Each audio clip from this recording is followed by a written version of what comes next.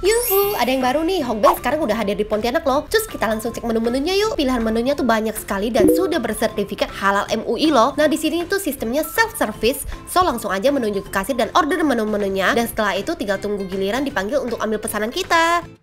Menu-menunya yang super menarik ada esmeralda 5 yang segar dan manis, chicken tofu, egg chicken roll, ekado, chicken teriyaki, ramen Hokkaido yang super creamy, gurih dan ramennya yang kenyal-kenyal. Ada potongan ayam dan telurnya juga. Ini mantap banget. Kalian wajib banget cobain.